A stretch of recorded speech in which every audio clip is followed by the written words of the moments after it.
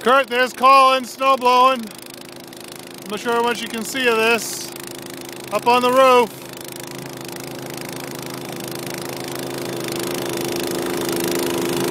And we did the whole, almost, we got this much left to do tomorrow morning.